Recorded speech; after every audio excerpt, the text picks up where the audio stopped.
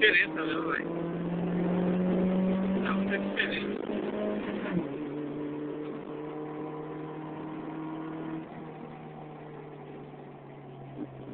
Diferença mesmo que tá antes. Você já vê no.